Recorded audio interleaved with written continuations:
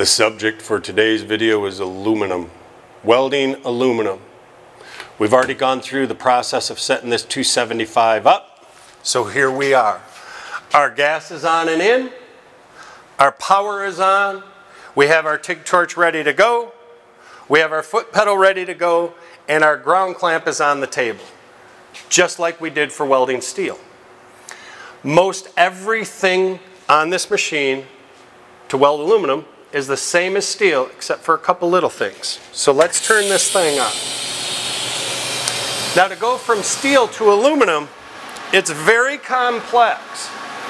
We're going to need to get a dump truck in here and a couple backhoes. Not really. Here's what we do. We're ready for aluminum. Basically, that's all you need to do. We need to switch the polarity from DC negative to AC. Now we're ready to weld aluminum. It's amazing how easy that is, huh? If we look at this now, over here on this control, it says alternating current, AC, and the light is on. So what this dial does is if you set it in the green, the machine balances the sine wave. It balances the amount of DC positive polarity and DC negative polarity, and that's about a 50-50 balance.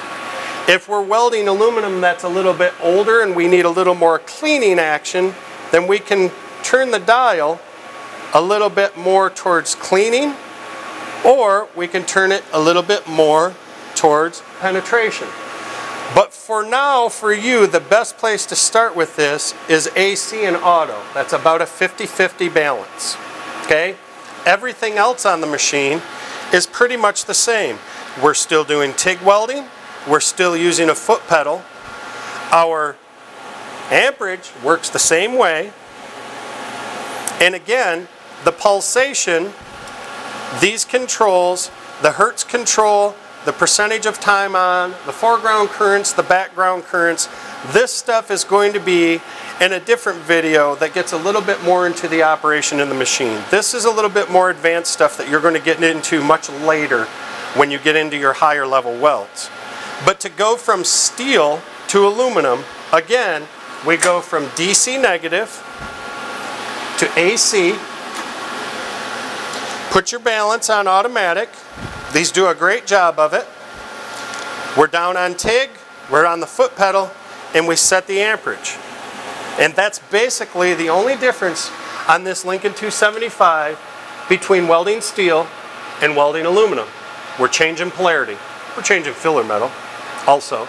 But the gas is the same, the pedal's the same, everything's the same. The tungsten is the same, the torch is the same. The polarity has to change, Our amperage might go up a little bit. The balance is on auto. That's all you need to get started. Your instructors will show you these controls when you get a little bit further into your aluminum welding.